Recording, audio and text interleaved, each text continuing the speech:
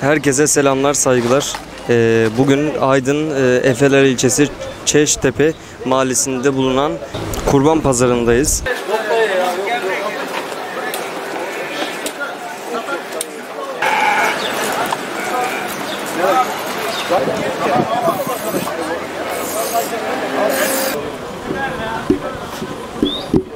Abi pazar durgun bu sene ya. Fiyatlar yüksek, yem fiyatları yüksek. Milletin parası yetmiyor. Emekli maaşları zaten belli. Fiyatlar da o yüzden yüksek oluyor. Satış az çok oluyor. Ama önceki kurbanlar yok. Ya karşılıklı oluyor mesela. Biz bir fiyat veriyoruz, o veriyor. Arayı buluyoruz. Abi genelde esnaf koyar. ya. Bayram. Herkesin bayramı kutlu olsun.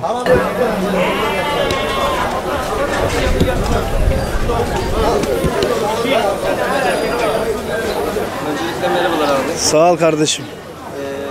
Kurban bayramından beklentiniz ne abi? Valla bu kur- kurban bayramından bir beklentimiz kalmadı. İşler çok kötü. Millet kurban kesmiyor pazarların yüksekliğinden dolayı. Şu anda işler çok kötü yani. Hiç iyi durumda değiliz. Üreticiyi bitirdiler. Esnafı bitirdiler. Mahvolduk yani açıkçası. Kaç paraya alabilirler?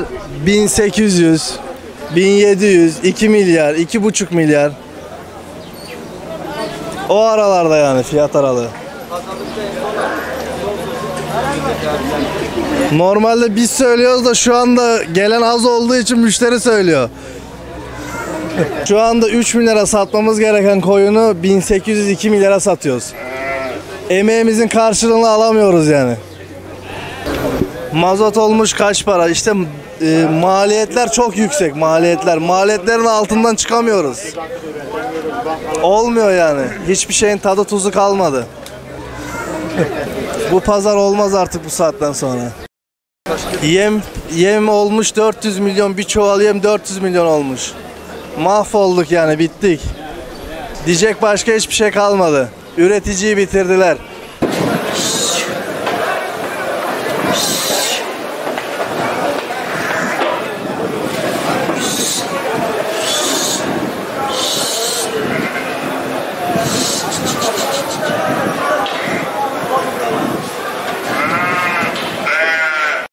Aydın halkına bu hizmet yapılmaz. Yıllardan beri yapıyoruz.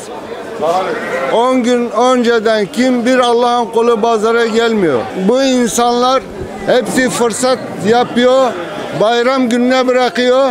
Bu sefer hayvanları yarı fiyatına alıyor. Hayvancılık yapan insanların hiç kimse düşündüğü yoktur. Bir adalet olmaz. Bir çuval yem olmuş 370 bin lira. Bir kilo saman olmuş 350 lira. Bir balya saman olmuş 70 lira. Biz bu işin içinde çıkamıyoruz. Geliyoruz pazara. Peşin yer paramızı veriyoruz. Ama hiçbir iş yapmadan tekrar geri gidiyoruz. Bütün bankalara, şeylere borcumuz var. Her tarafımız hipotekli. Bu böyle olmaz. Devlet buna bir çare bulmalı. E, Tıkanmış durumdayız. Zor durumdayız. Biz bir şey yapamıyoruz, elimizde bir şey gelmez. Bak bugün Arife günü. Bak bomboş tarla. Te, he, tezgahlar bomboş. Ve bu yerlerin parasını peşin ödemişiz. Benim diyeceğim bu kadar arkadaş.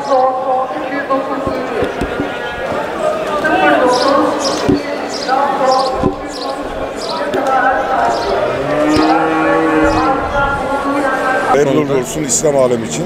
Evet. Ya hayvan pazarına hayvan getirdik. Satış yapıyoruz.